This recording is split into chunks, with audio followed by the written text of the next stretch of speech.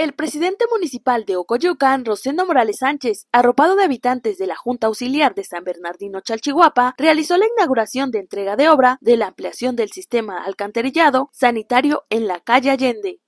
El esfuerzo que se ha hecho por el ayuntamiento de aplicar de manera correcta los recursos